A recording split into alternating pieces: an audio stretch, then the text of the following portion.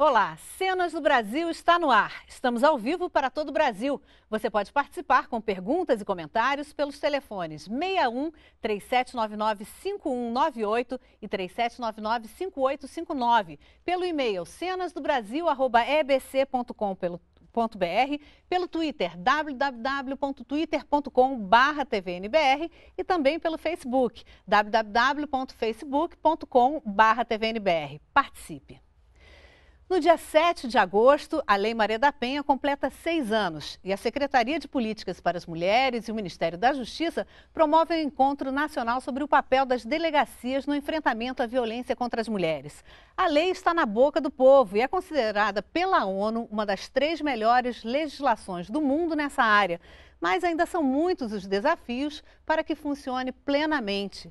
Qual o balanço desses seis anos? Quais os principais empecilhos para a aplicação da lei? Como garantir sua plena implementação por parte do Executivo, Legislativo e Judiciário? Hoje vamos conversar sobre essas e outras questões com nossas convidadas Aparecida Gonçalves, secretária de Enfrentamento à Violência contra as Mulheres da Secretaria de Políticas para as Mulheres, a SPM, e Leila Rebouças, do Centro Feminista de Estudos e Assessoria CFEMEA e coordenadora do Fórum de Mulheres do Distrito Federal e entorno. Boa noite, Boa obrigada noite, pela presença de vocês. Antes da nossa conversa, vamos assistir ao trailer do documentário Silêncio das Inocentes, realizado pela Voglia Produções Artísticas, com direção de Ike Gazola e roteiro de Rodrigo Azevedo. Vamos ver. Eu estava dormindo e acordei com um tiro nas costas. Porque na hora que eu recebi o tiro, eu, eu disse: o Marco me matou. Eu pensei, né? Eu tinha essa convicção de que tinha sido ele. Naquela trágica madrugada de 83, ela foi alvejada enquanto dormia pelo pai de suas três filhas. A Odisseia vivida por nossa amiga constitui exemplo da morosidade dos meandros da justiça brasileira, bem como do especial descaso em relação aos processos instaurados para julgar atos de violência contra a mulher. Eu grávida, entendeu? Aí ele agredia, porque era um adolescente, queria rua, o pai dele queria que ele tivesse responsabilidade, porque eu estava grávida. Álcool, droga, são altamente causadores dessa violência. Se encontra violência doméstica em todas as classes sociais, em todas as etnias, em todas as culturas, em todos os países, né?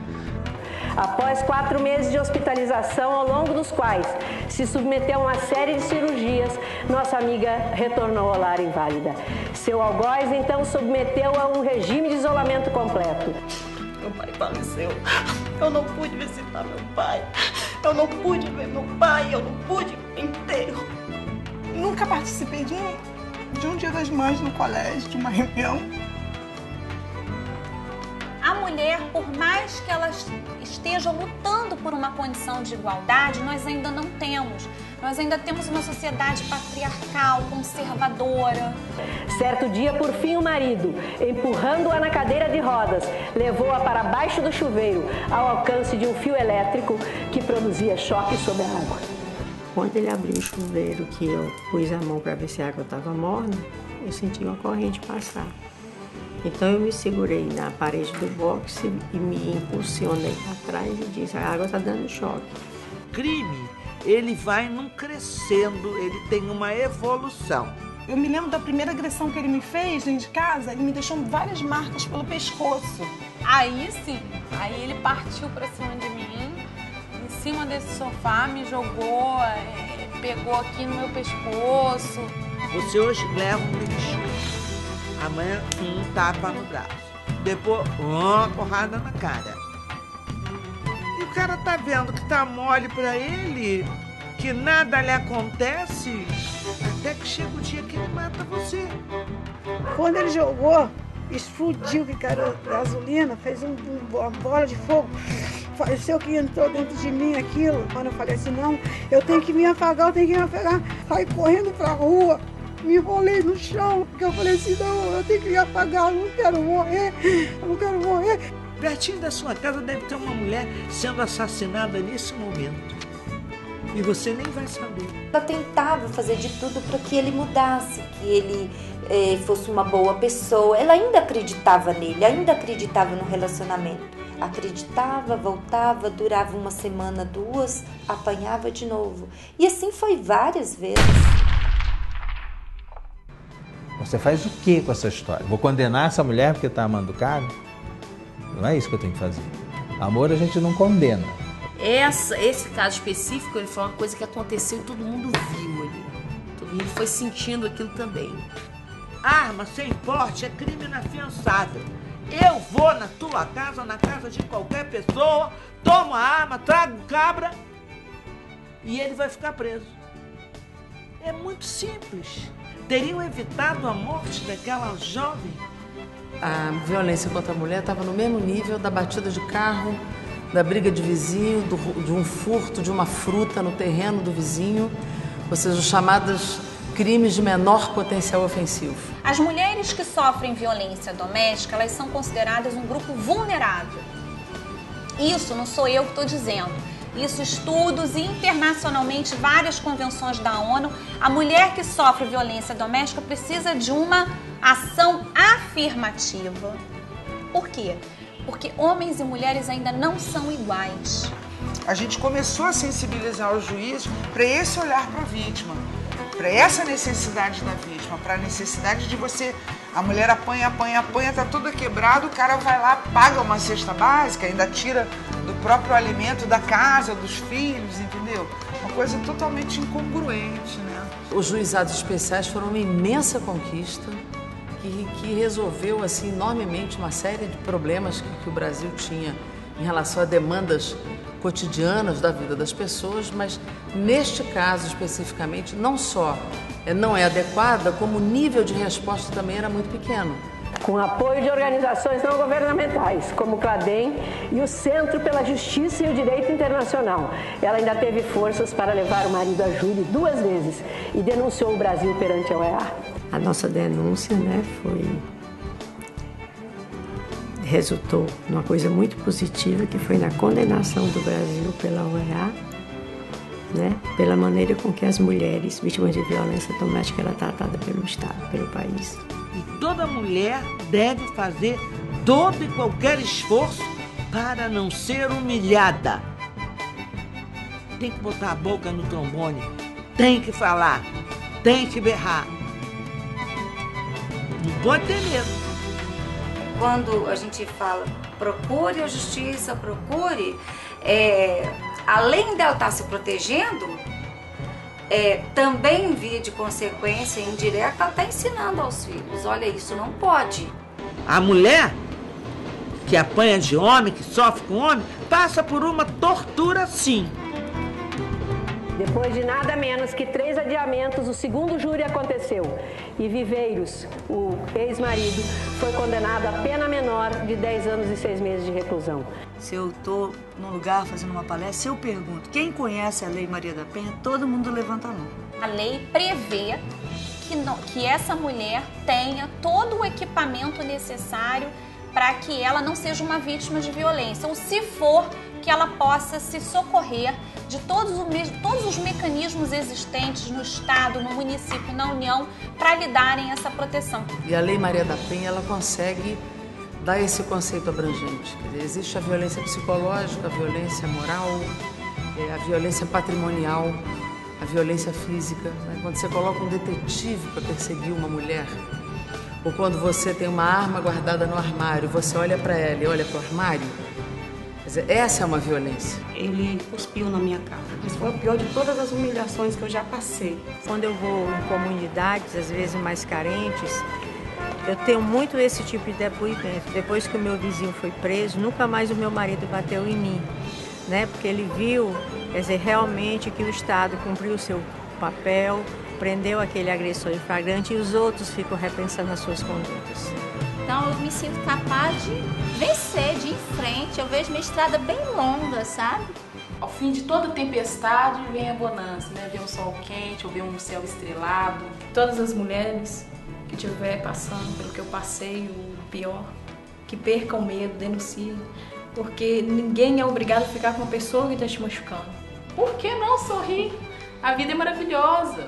Só depende de nós fazer a diferença. Diante das coisas que eu já passei, das coisas que eu já suportei, sabe? Eu vou vencer. Tenho certeza, é a única certeza que eu tenho na vida. Não sei como, não sei por onde começar, mas que eu vou à luta, eu vou. A cada momento que eu queria desistir, eu pensava, eu, eu me, me policiava e me, e me autodeterminava a não desistir. A luta dela por justiça demorou quase 20 anos. Apesar do apoio de uma instituição do peso da UEA, ela ainda teve coragem, minha gente, de escrever o livro Sobrevivi, posso contar. E porque você, minha amiga, não pode se levantar, levantaremos todos para lhe homenagear, para receber o diploma da mulher cidadã Berta Lutz e representar toda a nossa repulsa, indignação pela violência contra a mulher. Chamamos a nossa sofrida Maria da Penha, uma cearense, para lá de corajosa. E o senhor Flávio, senador Flávio Armes, é a nossa primeira dama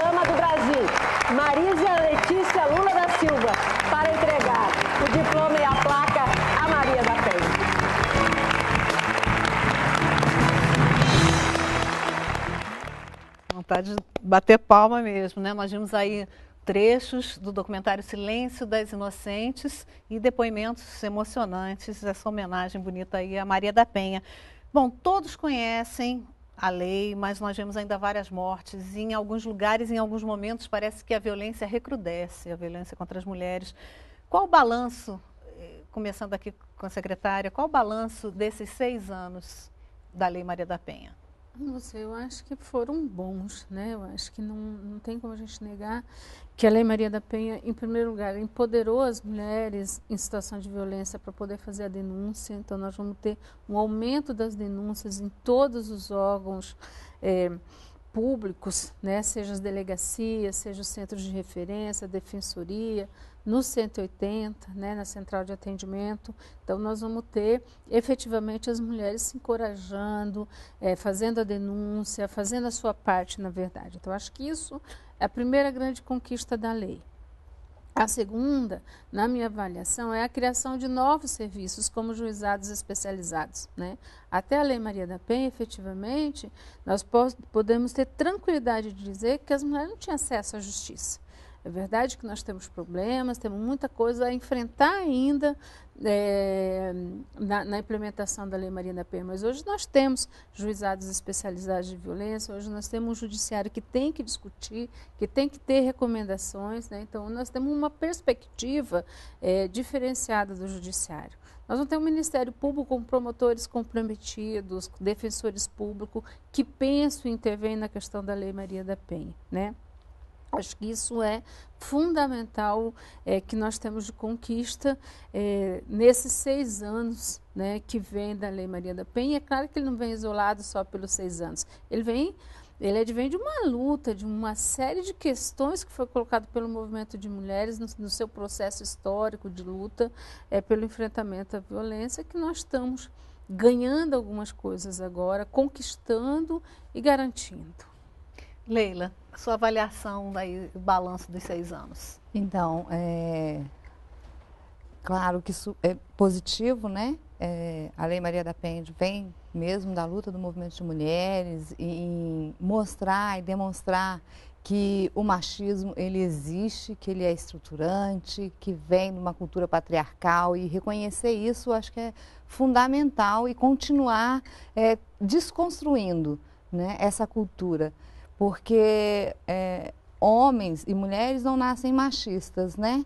Isso vai sendo construído nas relações sociais, né? É, no, no, no, público e, e no privado e no público também, no ambiente público e privado. Então, assim, principalmente reconhecer isso e continuar né, demonstrando isso que é, a gente não pode aceitar a violência contra as mulheres, que a gente precisa avançar mesmo nas desigualdades de gênero, de raça, de classe, para que a gente possa realmente ter uma sociedade é, mais igualitária. E Aparecida, quais seriam os principais gargalos ainda, né? A gente sabe de todos esses avanços, né? Eh, aí dos juizados, é, do judiciário mais comprometido, é, o Ministério Público, como você falou. E, mas quais são as dificuldades ainda hoje, por exemplo, essa cultura patriarcal, é o orçamento? Quais são os gargalos para que é, funcione totalmente? Eu acho que primeiro é a cultura. Né? Eu acho que a cultura machista e patriarcal ela, ela é um grande empecilho na, na aplicação da Lei Maria da Penha. Porque isso vai, vai, a mulher vai se deparar, ou o Estado brasileiro, na hora que ela chega no serviço, a forma com que ela é tratada, se vai ter o registro, se, vai, se não vai ter, se vai ser o boletim de ocorrência, a forma do inquérito, né? Nós vamos ter se vai ter o encaminhamento ou não. Nós vamos ter é, as várias definições, decisões definidas sobre uma série de, outra, de, de, elementos que vêm da cultura. E nós vamos ter um outro elemento que na nossa sociedade é muito forte, que ainda é a cultura de que a mulher é que tem que manter a família, né? Então, uhum. em nome da família, a mulher não pode fazer denúncia, a mulher tem que continuar sofrendo violência. Então, toda essa cultura, para mim, é hoje o principal gargalo de todo o processo. Na hora que nós mudarmos isso, possivelmente nós também estaremos mudando a mentalidade do Estado. Porque o Estado não é isolado daquilo que pensa a sociedade, homens e mulheres no Brasil. Então, acho que essa, esse é o primeiro é, problema que nós temos. E acredito que o segundo advém desse, mas é que o Estado brasileiro, enquanto Estado, ele não está preparado, nunca se preparou efetivamente para ter políticas públicas para as mulheres. Então, ele não coloca as mulheres como uma ordem de prioridade, ele não determina orçamento para a questão das mulheres e ele efetivamente ele não coloca isso como uma estratégia né, é, a ser definida, a ser implantada.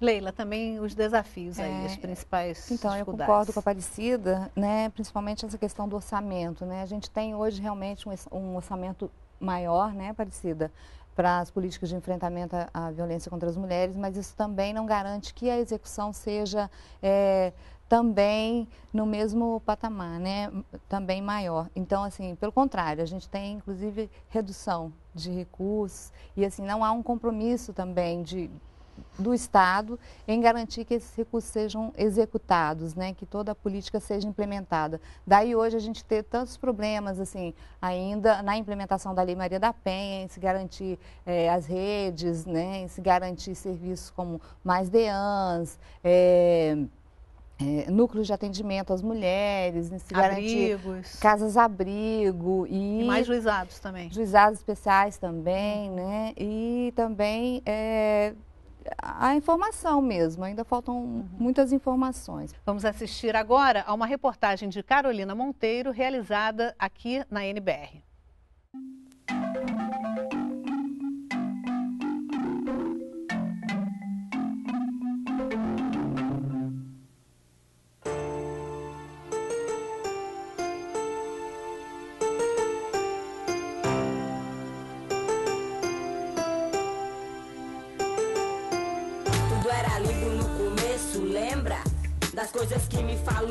Era bom sedução.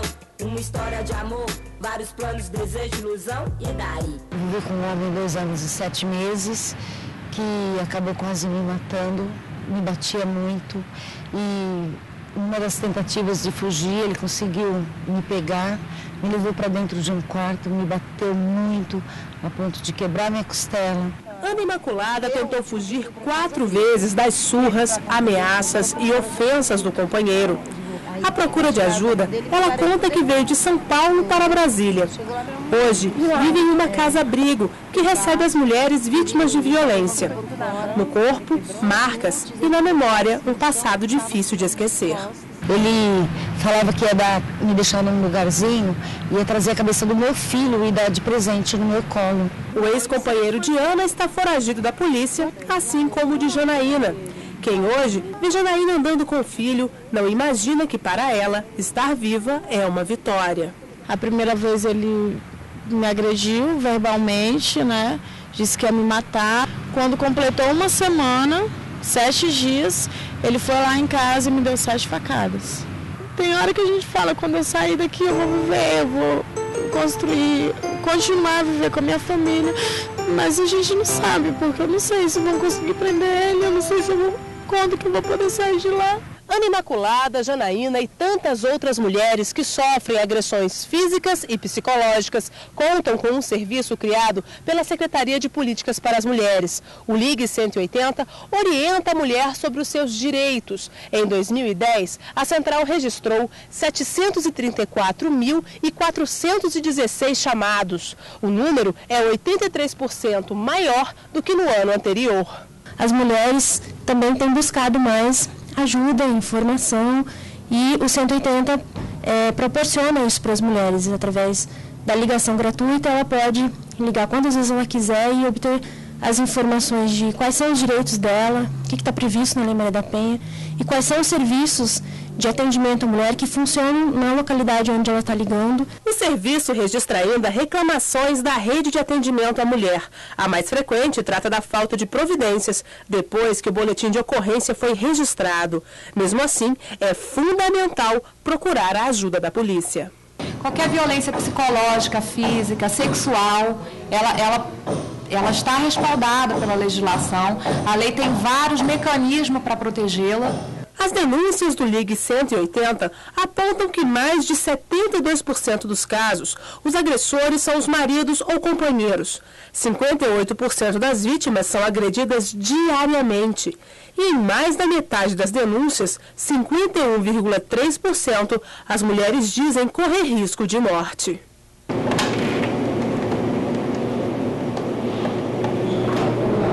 É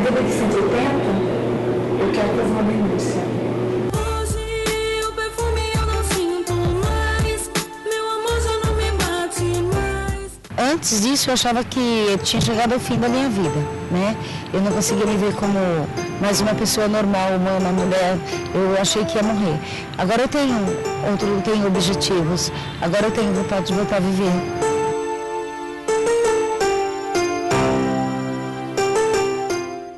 Bom, essa reportagem foi realizada em 2011 com dados de 2010. Até você poderia comentar, secretária, uh, os números mais atualizados. E eh, também gostaria que você comentasse sobre essas reclamações que foram apontadas aí na reportagem de falta de, de providências, de falta de estrutura das delegacias. Né? Nós vemos ainda casos de mortes, de mulheres ameaçadas às vezes por falta de medidas de proteção. Né? Faltam, o que, que, o que, que é preciso ser feito aí? É, na verdade, Lúcia, eu acho assim, é, os números dos 180, no ano passado, nós já tínhamos passado mais de 2 milhões de ligações. Né? 2 milhões em 2011. 2011. Né? Na verdade, esse ano a gente já está caminhando aí para, com certeza, nós vamos passar da casa dos 3 eh, milhões efetivamente de ligações. Porque a cada ano que as mulheres vão tendo mais informações, elas vão ligando para saber os seus direitos, para reclamar. Né? Com relação à questão das denúncias, na verdade, assim, Hoje no Brasil, os serviços que mais existem são as delegacias especializadas. Né? Nós temos cerca de quase 500 delegacias entre delegacias especializadas e núcleos especializados de atendimento na segurança pública. E também a segurança pública é o espaço em que chega primeiro no atendimento, seja a Polícia Militar, né, através da, da, da, das suas viaturas, seja um 90 que as mulheres ligam para pedir ajuda. Então, portanto, é aí que vai estar o maior índice efetivamente de, de reclamações que não justifica, porque na verdade também é um dos lugares onde se tem as maiores dificuldades, porque o grande problema é aquilo que nós temos trabalhado durante muitos anos. O problema é o servidor ou a servidora pública ter capacidade de ouvir e acreditar na fala da mulher. As mulheres morrem, seja com medida protetiva, seja com oito boletins de ocorrência na mão, porque o servidor ou a servidora que atendeu não acreditou na palavra dela. Achou que ela ia voltar, que já foi, que já voltou. Né? Mas a mulher que convive com o agressor, ela sabe que ela vai ser, vai ser morta, ela sabe o que é ameaça. Né? Eu acho que essa é uma primeira questão, que é o grande desafio. O segundo é a estrutura. Né? Eu acho que o fato de você ter medidas protetivas de urgência não significa que ninguém está pedindo um, um policial na porta de casa das mulheres. Ninguém, nem, o movimento de mulheres nunca pediu isso, a Secretaria de Política para as Mulheres nunca pediu isso, nem as mulheres estão pedindo porque não querem perder a sua liberdade nesse nível. Né? Mas o que se pede é uma ação imediata. Né? Quando acontecer, está com a medida protetiva, o agressor já chegou a primeira vez na casa, é prisão.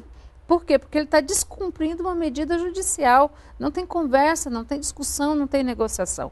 Então, essas medidas, essas ações mais efetivas de imediata pode salvar a vida de uma mulher.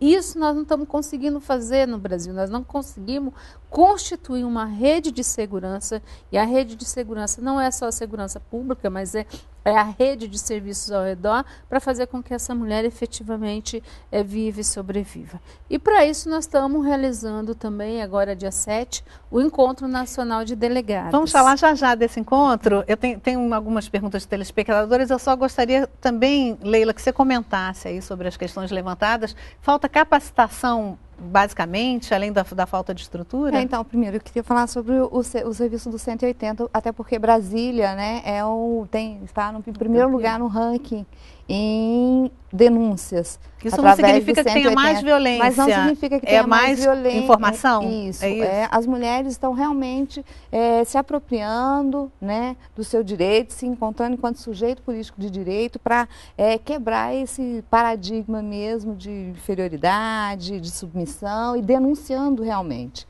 Né? Então, é, as mulheres de Brasília estão denunciando muito mais, que não significa que elas não realmente estão acessando os serviços. Nós tivemos é, há pouco tempo agora, inclusive, assassinatos de mais uma mulher uhum. e tem acontecido é, ultimamente com mais frequência. Né? Isso é bastante preocupante. Embora tenhamos um modelo de delegacia, né?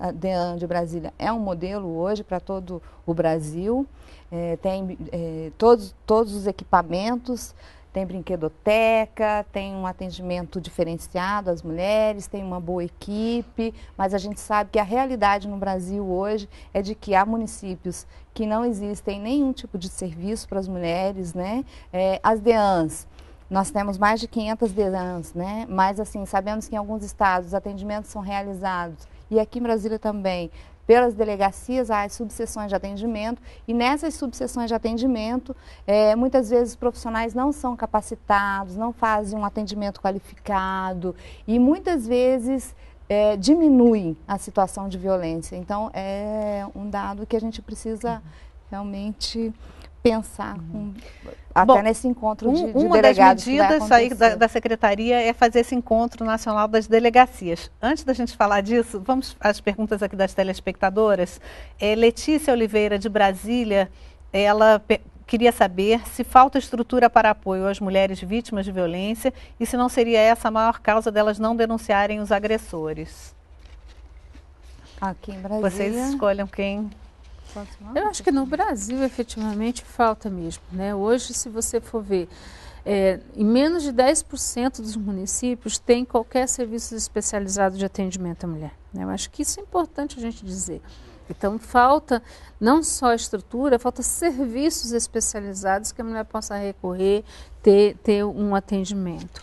E nos serviços públicos em gerais, de atendimento universais, não tem equipe, não estão preparados. Acho que não, estão, não, é, não é nem capacitados, acho que não estão preparados para atender mulher em situação de violência. Né? Então, são, é, não conseguem enxergar, não conseguem ouvir e não conseguem efetivamente dar o encaminhamento necessário ao problema. Então, acho que é verdade, não tem estrutura, não tem atendimento, né? Então, portanto, isso faz com que as mulheres, é, cada é, se perguntem se a gente chega lá, o que, que vai fazer, né? Agora, isso é um processo que nós estamos modificando no país, né? De 2007 para cá, nós aumentamos em, cento, em 161% o número de serviços.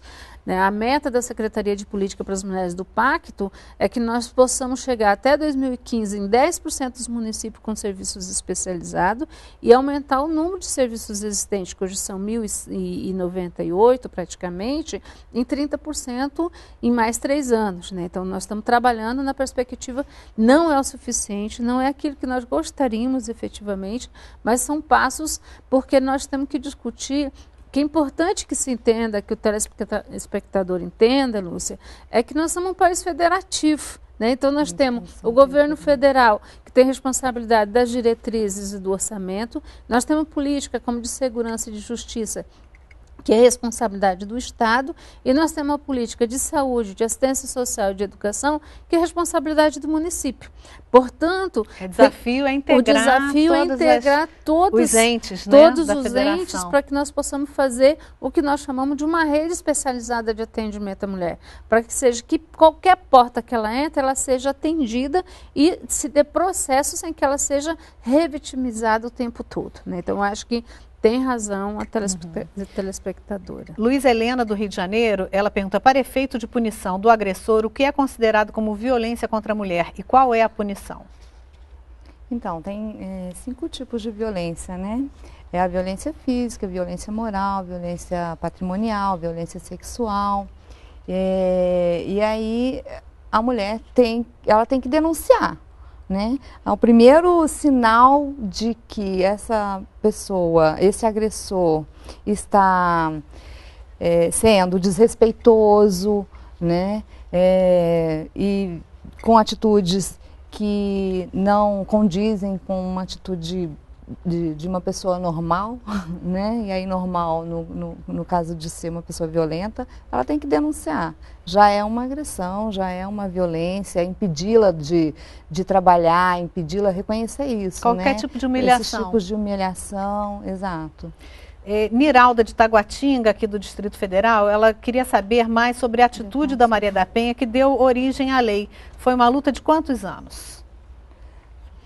Ah, foram anos, né? Foram 20 anos de espera por justiça nos tribunais de justiça, depois anos para discussão no debate da OEA. São de 25 a 26 anos, quase chegando aos 30 anos, efetivamente, é, é de, de luta, né, vamos chamar assim, de esperança, de que de fato seu caso é, resolvesse. A filha, as filhas delas tinham dois e cinco anos, hoje a mais nova tem 27 anos. Então é mais ou menos essa, esse é o período é, de luta da Maria da Penha por justiça no Brasil. Mas de luta, né, pela, pelo reconhecimento dessa violência de gênero, é, o movimento de mulheres, o movimento feminista vem há 100 mais de 100 anos, é. talvez, eu poderia dizer aqui com, com, claro, com firmeza, né?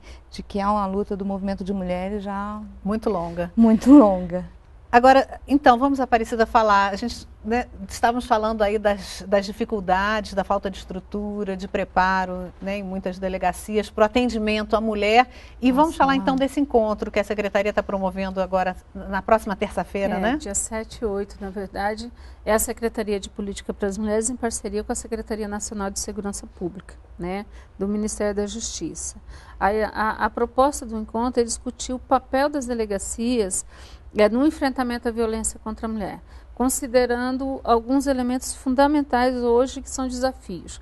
Primeiro, a questão da implementação da própria Lei Maria da Penha, né, a questão de estabelecer os, os inquéritos, de estabelecer é, os procedimentos. Segundo, as novas formas de violência que estão colocadas. Né? Então, se você for ver os, o, a forma com que as mulheres estão sendo assassinadas, a crueldade com que está sendo, requinte de crueldade, a questão dos cárceres, a questão da violência sexual, que tem aumentado hum. efetivamente, e a questão do tráfico de mulheres. Então, você tem aí uma série de elementos do enfrentamento à violência contra as mulheres que são desafios que estão colocados no cenário brasileiro e mundial. E, portanto, a perspectiva é discutir nesse encontro é, quais são as alternativas, as formas, é discutir empoderamento dessas delegacias, porque é importante dizer aqui que tem estado que está fechando delegacias especializadas. Então, nós estamos numa luta constante para que efetivamente elas não sejam fechadas. Né? Elas ainda estão num segundo lugar invisível da segurança pública. Né? As nossas delegadas, elas resolvem esse problema muito mais por amor à causa, muitas vezes, é, sem estrutura, sem apoio, sem condições dentro do espaço de segurança pública. Então, esse é um momento de nós podemos ouvir as delegadas e efetivamente apresentarmos respostas e propostas efetivas para a segurança pública, para que as delegacias cumpram o seu papel efetivo no enfrentamento à violência contra a mulher. Mas o que está tá gerando esse fechamento, essa possibilidade de fechamento em alguns de estados? É, o que, que é alegado? É não se ver a importância disso? Ou é a falta de recursos? Basicamente, a falta de recursos, né? Falta de compromisso do- dos estados em implementar a- o Pacto Nacional de Enfrentamento à Violência, que muitos estados assinam, mas não implementam. É, falta do compromisso e dos recursos orçamentários. Basicamente, eu diria que é isso. Bom, Aparecida, é, além desse encontro, eu vou mostrar aqui o folder do papel das delegacias no enfrentamento à, vi- à violência contra as mulheres, né, que vai ser na próxima terça e quarta-feira, dia 7 e 8 de agosto. Vai ser também lançada a campanha Compromisso e Atitude, né? O que, que é essa campanha? Na verdade, essa campanha é, é- é é uma junção de esforços do Executivo, do Judiciário, do Ministério Público, Defensoria Pública, para que nós possamos efetivamente dar celeridade a julgamentos né, é, de, assass- de assassinos de mulheres estupradores. né. Então, nós vamos estar lançando no dia 7. Esse, esse semestre, nós vamos estar fazendo o debate nos estados por dentro do Tribunal de Justiça com os operadores de direito, porque a grande perspectiva é que nós possamos falar com os tribunais de júri, né? porque é eles que julgam os assassinos. Porque nós precisamos, na verdade, trabalhar o combate à impunidade à violência contra a mulher. Né? E a impunidade significa, efetivamente, você ser responsabilizado pelos seus atos, você ser julgado, você ser condenado, né? você cumprir a pena. E nesse sentido, eu acho que a questão eh, da parceria com a Secretaria de Política para as Mulheres, juntamente com o INSS, agora que nós assinamos essa semana, é muito importante, porque mais uma vez vem tendo a perspectiva de responsabilizar o agressor pelo seu ato. O que, que foi esse termo? Qual o termo da cooperação? O termo da cooperação, efetivamente, o INSS vai montar um processo né, para que o agressor, as mulheres que tiveram benefícios e foram beneficiadas pelo INSS por serem vítimas de violência, o agressor vai ter que Ressarcir devolver, ressarcir esse dinheiro para os cofres Aí vai doer públicos. no bolso mesmo. Se ele não Exatamente. tiver, ele vai ser Porque preso. não Se é ele não tiver como justo que pagar. a cidadã e o cidadão pague pelo crime que o outro cometeu.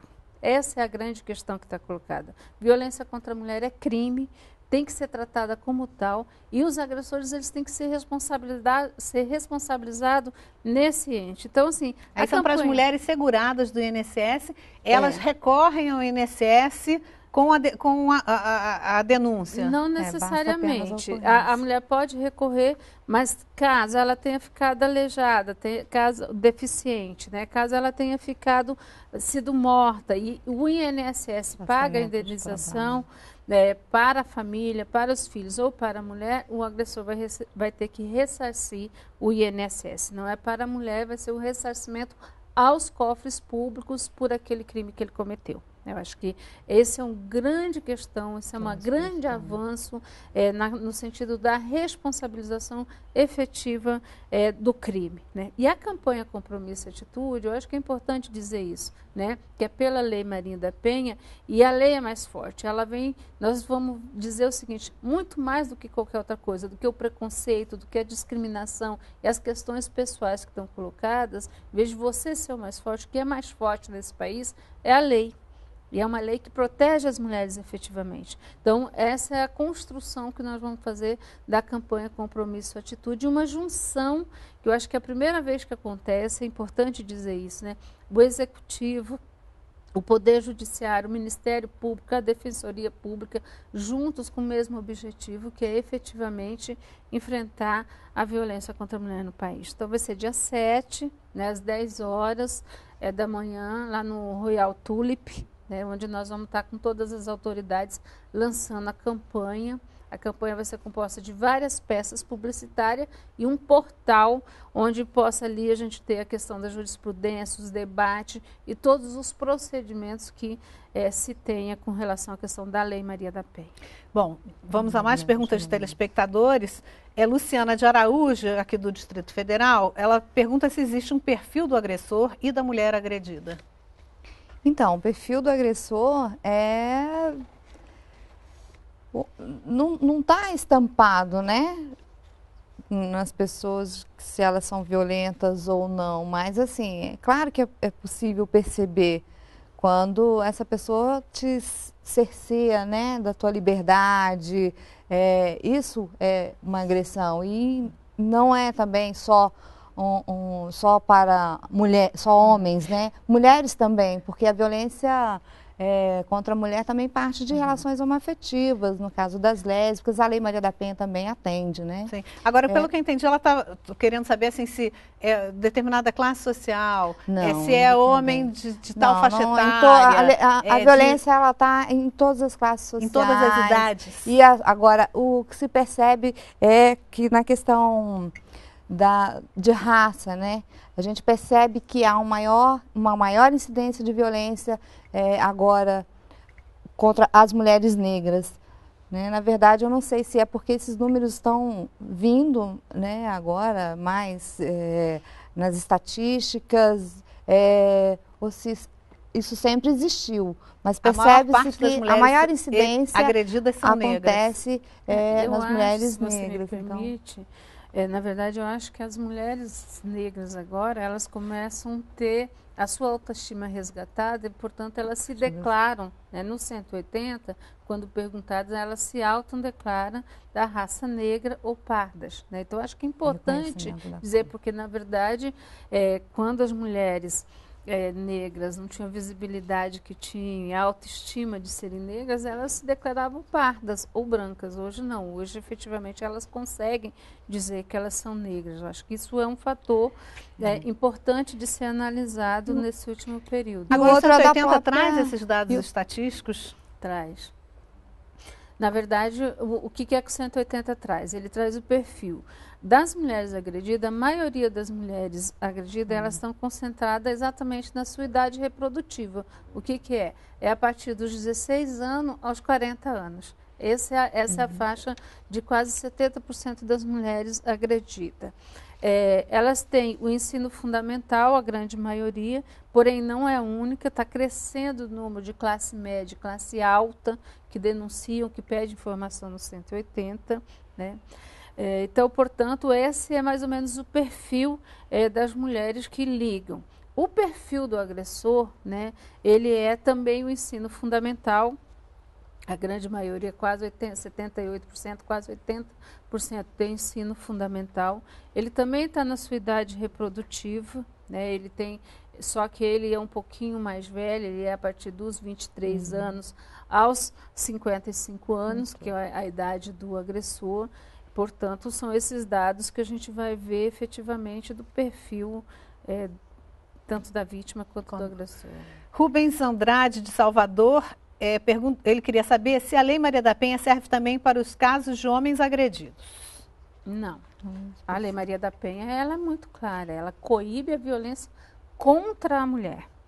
Então, ele ela define bem claro quem é o público que ela vai atender. E ela trabalha dentro de uma perspectiva, efetivamente, que foi colocado no vídeo inicial, que é a fala da juíza Adriana, que foi muito feliz, de dizer o seguinte: ela trabalha em cima de ações afirmativas para restabelecer a questão da desigualdade. Porque é importante que a gente saiba que a, a- a desigualdade, na- no perfil da desigualdade, as mulheres estão embaixo. Portanto, é nessa perspectiva que a Lei Maria da Penha ela vem afirmar. Né? Ela não atende os homens agressores. Nós temos alguns juízes, nós temos alguns lugares que têm aplicado a Lei Maria da Penha para os homens, por mais tanto o STF, quanto a Secretaria de Política para as Mulheres, quanto o Ministério da Justiça, quanto o Movimento de Mulheres, não não, não, não colocam a Lei Maria da Penha e não pode ser usada para homens. Especificamente Ela é enfrentamento à violência. específica. Mas no caso, você estava falando no caso das lésbicas, Sim, casal, aí sim. sim, para porque são- casais, é, É são porque mulheres. ela, ela coloca na base. é, porque o, o- qual é a característica da Lei Maria da Penha? É porque ela trata a questão da violência baseada no gênero. É baseada exatamente na questão da na relação de poder que está estabelecida na relação, na relação afetiva. Aí ela coloca o seguinte: mesmo na relação lésbica, existe uma relação de poder em que um, um, um- um- uma pessoa submete a outra. Isso são as relações de poder estabelecidas eh, na, na questão da violência. De qualquer maneira, a agredida é uma mulher. É uma mulher.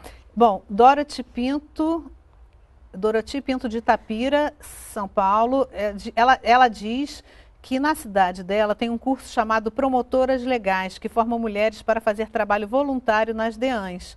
Você tem conhecimento disso e existe esse curso em outros lugares do país? Sim, eu sou uma promotora legal popular, formada em 2007, fiz o curso aqui em Brasília mesmo. E realmente é um curso de empoderamento das mulheres, né? É, de formação dessas mulheres, de, de promoção de autonomia das mulheres, de reconhecimento né, das, dessas relações de gênero, do, de, de, de cultura patriarcal. Então, assim, o curso ele acontece em vários estados do Brasil hoje, de diferentes formatos, mas tem sido muito importante para eh, promover a Lei Maria da Penha, para promover a autonomia das mulheres a partir do reconhecimento dos seus direitos, né? Então, eh, eu tenho muito orgulho de ser uma promotora legal popular. E esse trabalho, eh, como é que é esse trabalho de- voluntária? Bom, as mulheres, eh, normalmente o curso ele é voltado para eh, mulheres que já têm uma, um trabalho nas suas comunidades, são lideranças né, eh, comunitárias. Eh, hoje, eh, hoje, aqui em Brasília, pelo menos, esse perfil eh, do curso está mudando, está formando, inclusive, lideranças, né? Eh, e acredito que também nos outros estados. É, é, o nosso tem um formato diferenciado, é um, é um curso de duração de, do- de um ano, né? tem um apoio da Universidade de Brasília, nem todos os cursos têm é, apoios, né? É, ou estão em, em locais como sindicatos ou associações. É, ele tem vários formatos, mas ele parte de uma metodologia de uma ONG lá do Sul que se chama TEMES.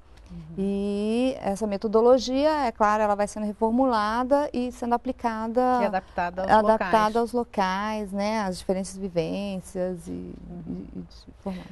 Bom, eh, vai ter esse encontro na próxima semana, o encontro das delegacias. E eh, quais são outras medidas que a Secretaria está tomando né, para garantir uma maior eficácia, que, outros, que outras articulações? Porque você estava comentando a importância do envolvimento dos entes federativos, né, dos estados, dos municípios, dessa integração com o governo federal. E também eh, precisa de uma integração de políticas com vários ministérios. Tem aí o exemplo do Ministério da Previdência Social, INSS e tal. Que que é- quais são as- a- os próximos passos aí? É, nós, estamos, nós temos uma perspectiva nesse semestre de, das repactuações com os estados, né? E nas repactuações, fortalecer a questão, principalmente que está colocado como meta da Secretaria de Política para as Mulheres, efetivamente, é o aumento dos serviços especializados, né? Isso, para nós e para a ministra Leonora Menecute, é uma obsessão, né? Nós precisamos garantir às mulheres ter acesso a esses serviços especializados. E a outra coisa é efetivamente é garantir a questão, colocar a campanha Compromisso e Atitude na rua. Né? Porque na medida em que nós começarmos a fazer os julgamentos e os agressores perceberem que estão sendo punidos efetivamente, aí sim nós vamos ter uma resposta tanto das mulheres com mais efetividade, assim como daqueles agressores é, que acham que agridem, que continuam no crime, acreditando que nada vai acontecer com eles, né? Ah, isso é mais uma coisa, não vai acontecer nada, é mais uma lei, né? Não, essa não é uma lei que é mais uma, ela não vai ser dessa forma, né? E a violência contra a mulher, ela não pode ser tratada desse jeito, né? Nós estamos, Lúcia, só para você ter uma ideia, uma das melhores leis do país, mas nós somos o sétimo país no ranking mundial de assassinato de mulheres. Esse é o desafio que está colocado para o Brasil e não é só para o Estado brasileiro, para o Estado brasileiro, mas para a sociedade brasileira. Senão nós não vamos dar conta, porque se a sociedade não assumir também de responsabilizar, de conversar, e o responsabilizar não é só condenar e colocar na cadeia, responsabilizar é cobrar, é exigir, nós não vamos dar conta é, de, de, de diminuir o número de assassinatos e nós podemos daqui a dois ou três anos estarmos aí no ranking de primeiro lugar em assassinatos de mulheres. Bom, nosso tempo chegou ao final, vou dar um minuto para cada uma para considerações finais aí livres, mas antes, rapidamente, se vocês puderem responder, a telespectadora Maria Moreira, de Visconde do Rio Branco, Minas Gerais, ela diz que a filha se separou e não recebeu os direitos, quer saber se a lei se aplica para a cobrança de direitos também. Não, depende de que direitos, né? A lei, a, lei, a filha não foi separou, né? agredida. Né? Não, então ela, ela, ela não entra na questão da lei Maria da Penha, mas ela tem vários direitos, né? Ela tem que Pode. recorrer, seja para a questão da pensão alimentícia, seja pelos seus direitos. Isso está garantido na Constituição brasileira. Bom, Vamos então, um minuto é, então, para a Leila. Assim, é importante né, salientar que acabar com a desigualdade de gênero tem que ser um compromisso de toda a sociedade, né? E não só do movimento de mulheres e feminista, né? É claro que nós vamos continuar lutando e mobilizando as mulheres, incentivando a denúncia e cobrando do Estado também o compromisso, é, os recursos orçamentários para garantir essas políticas e é esse o nosso papel, né? De garantir que os nossos direitos realmente sejam é, efetivados, sejam implementados e que a gente seja reconhecida realmente pelas nossas, nossas capacidades, nossas competências e nosso direito. Muito obrigada, secretária. Eu queria terminar minha fala bem rápido, simples. É, qualquer pessoa brasileira pode tomar uma atitude. Né? Liga no 180, é, faça denúncia, oriente a mulher, e todos nós temos que ter um único compromisso no Brasil. Nós não podemos passar vergonha de sermos o sétimo país no ranking mundial e nos omitirmos da violência contra a mulher. Então, toma uma atitude e assuma um compromisso. Muito obrigada pela participação de vocês. Cenas do Brasil fica por aqui. Hoje falamos sobre os seis anos da Lei Maria da Penha. Agradecemos a presença de nossas convidadas, Aparecida Gonçalves, secretária de Enfrentamento à Violência contra as Mulheres da Secretaria de Políticas para as Mulheres, e Leila Rebouças, do Centro Feminista de Estudos e Assessoria CFEMEA e coordenadora do Fórum de Mulheres do Distrito Federal e entorno. Agradecemos agradecemos também a sua audiência e a sua participação.